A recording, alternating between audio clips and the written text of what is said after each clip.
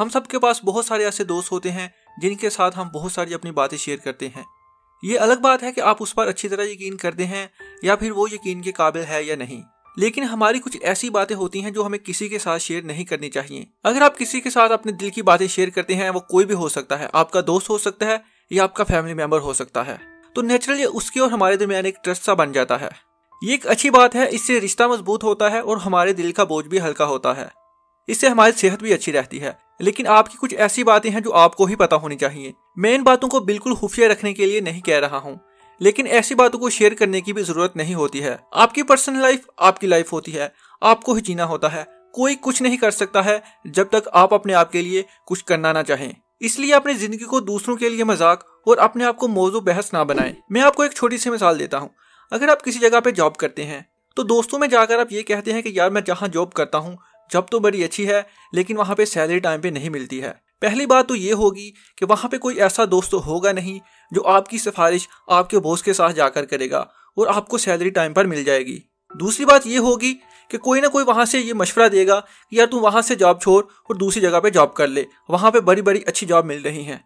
इससे क्या होगा कि आपके दिमाग में जॉब छोड़ने का आइडिया भी आ जाएगा और सैलरी की टेंशन तो आप पहले ही ले रहे हैं। अब इससे क्या होगा कि आपका स्ट्रेस बढ़ेगा, आप काम पे ध्यान नहीं दे सकेंगे, यही बातें आपके दिमाग में गर्दिश करती रहेंगी। इससे फ़ायदा और नुकसान किसको हुआ? फ़ायदा किसी को कुछ नहीं हुआ, उल्टा आपने अपना नुकसान किया है। आपने ही अपने आप को स्ट्रेस में डाला है। इस वीडियो में मैं आपको पाँच ऐसी बातें बताने वाला हूँ, जो आपको बिल्कुल किसी के साथ शेयर नहीं करनी चाहिए।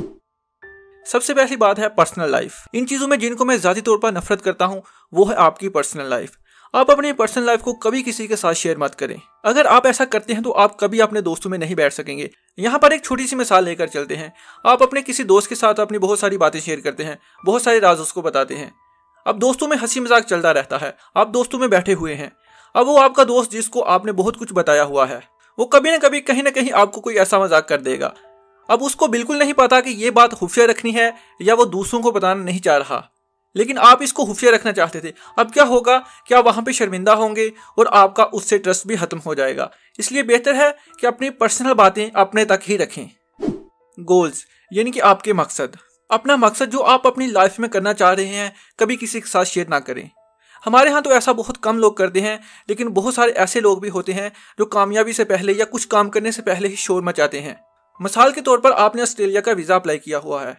आप अपने दोस्तों में जाके बड़े बड़े ब्लंडर मारते हैं बड़ी बड़ी हाँके मारते हैं कि मैं वहाँ जाकर ये करूँगा, वो करूँगा, ब्ला ब्ला ब्ला। कुछ दिनों के बाद यह खबर आती है कि आपका वीज़ा रिजेक्ट हो गया है।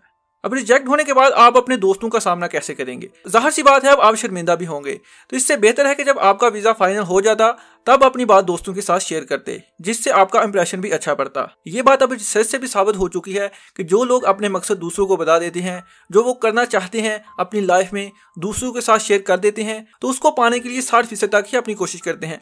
बाकी चालीस फ़ीसद वो अपने आप को उसके जहन में कामयाब बना चुके होते हैं। फैमिली इशू आजकल हर इंसान ही दुखी है। हर इंसान को कोई ना कोई मसला चल रहा होता है। लेकिन आपको अपने घर की बातें कभी किसी के साथ शेयर नहीं करनी चाहिए। यहाँ भी एक मिसाल लेकर चलते हैं कि एक लड़की शादी करके अपने ससुराल जाती है। वहाँ पे कुछ दिनों के बाद वहाँ पे उसे कुछ प्रॉब्लम हो जाती है। वो अपना फ़ोन उठाती है और अपने दोस्त को किसी को फ़ोन करती है। उसे बताती है कि उसका हस्बैंड अच्छा नहीं है या सास अच्छी नहीं है ससुर अच्छा नहीं है या कोई भी ऐसी बात बताती है। कुछ दिनों के बाद सारा मसला हल हो जाता है, वो वहाँ पे हँसी खुशी रहने लगती है। लेकिन अब वो अपनी पूरी उम्र लगा देगी उस दोस्त को मुतमिन करने के लिए कि वो वहाँ पे खुश है, वो कभी भी नहीं मानेगी। क्योंकि आपने उसके जहन में ये पहले ही डाल दिया है कि मैं यहाँ पे खुश नहीं हूँ। अब वो लड़की लाजमी किसी के साथ ये बात शेयर करेगी आप वहाँ पे खुश नहीं हैं। इसकी कसूरवार आप खुद हैं क्योंकि आपने खुद ही उसको फ़ोन किया, अपनी ज़िंदगी के बारे में बताया और अपनी बातों को बहस के लिए पेश किया। गुड डीड्स यानी कि आपकी अच्छी बातें। आपने बचपन में पढ़ा ही होगा, नेकी कर दरिया में डाल। हमें हर वक्त अपने अच्छे काम दूसरों के साथ शेयर नहीं करने चाहिए। अच्छे काम करने चाहिए, इसमें कोई शक नहीं। लेकिन बार बार दूसरों के साथ शेयर करना, ये आपकी अपनी पर्सनैलिटी को बुरा बनाता है। इससे क्या होता है कि दूसरा इंसान ये सोचता है कि ये इंसान अपनी तारीफ़ खुद कर रहा है। इसने कोई अच्छा काम किया है तो उसके ऊपर एहसान नहीं किया, वो अपने लिए किया है और उसके लिए जिसको इसने काम अच्छा करके दिया है। और आप दूसरों को ये बताने की बार बार कोशिश कर रहे होते हो कि मैं तुमसे अच्छा हूँ। एक बार ज़िंदगी में याद रखिए कि ज़िंदगी एक ही जैसी नहीं चलती रहती है। उतार चढ़ाव आते रहते हैं।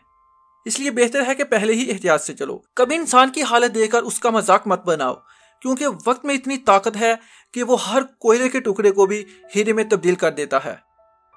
लास्ट है फाइनेंस कभी किसी इंसान के साथ अपनी सैलरी और बैंक बैलेंस के बारे में शेयर मत करें। ज़ाहिर सी बात है, ऐसा बहुत कम लोग करते हैं, लेकिन फिर भी इस बात को लेकर एहतियात करनी चाहिए। मिसाल के तौर पर, आप अपने किसी दोस्त को ये बताते हैं कि, मेरा जेब खर्च इतना है और मैं एक महीने में इतने पैसे बचा लेता हूँ। चार महीने के बाद मैं एक नया मोबाइल लेने वाला हूँ। अब वो दोस्त जो आपको सुन रहा है वो ये देख रहा है कि इसका महीने का इतना खर्चा है और ये इसके पास इतने एक्स्ट्रा पैसे होते हैं। अगर दूसरे दोस्त को पैसों की ज़रूरत नहीं भी होगी, तब भी उसके जहन में आएगा कि मैं इससे पैसे मांग लेता हूँ, क्योंकि इसके पास एक्स्ट्रा पैसे हैं। चार महीने के बाद वो ये मोबाइल लेगा, तब तक मैं इसको लेकर यूज़ कर सकता हूँ। जब वो इस चीज़ का आपके साथ ज़िक्र करेगा तो आपके पास दूसरी चॉइस होगी ही नहीं, क्योंकि पहले ही आप अपनी हालत बता चुके हैं। कमेंट में ज़रूर बताएँ कि क्या आप अपनी बहुत ही पर्सनल बातें दूसरों के साथ शेयर करते हैं या नहीं। दोस्तों, अगर ये वीडियो आपको अच्छी लगी है, इसको लाइक और शेयर ज़रूर करें। अपना और अपने साथ साथ दूसरों का बहुत सारा ख्याल रखें। नेक्स्ट वीडियो तक के लिए अल्लाह हाफिज़।